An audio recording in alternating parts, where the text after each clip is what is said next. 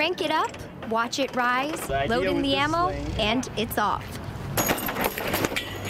This is the trebuchet that Clarence High School's engineering club built, and it's pretty impressive. It seems simple, but a lot of work has gone into its design over the past year. We found a design that we really liked, and then we kind of started making prototypes. We started with the quarter scale model, which led to the half scale model, um, from which we based this larger scale off of. Anthony is president of the club and took on a lot of the responsibility of designing the catapult that will compete in the 12th annual trebuchet contest at the Great Pumpkin Farm in Clarence. I'm excited to see, or hopefully see, all our work pay off, um, but I'm nervous to see how it actually unfolds and how the trebuchet actually handles. And the outcome will probably be pretty good. Along with numerous practice runs with the engineering club, Anthony has gone over the design with his teachers, perfecting every square inch.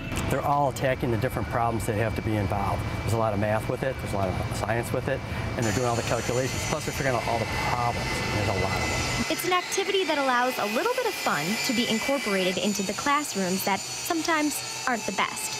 Maroney hopes that this will inspire a lot of the students involved to go into engineering. Um, out of the 50, most of them are going to be going into engineering. When we did this as a class project, I broke it up into the mechanical side, architectural side, the civil side. Ten schools, including Clarence High School, will be competing in the contest held Sunday. There are lots of different areas of the competition, ensuring many winners. Each will be awarded money to put towards their club. In Clarence, Kaylee Went, News 4.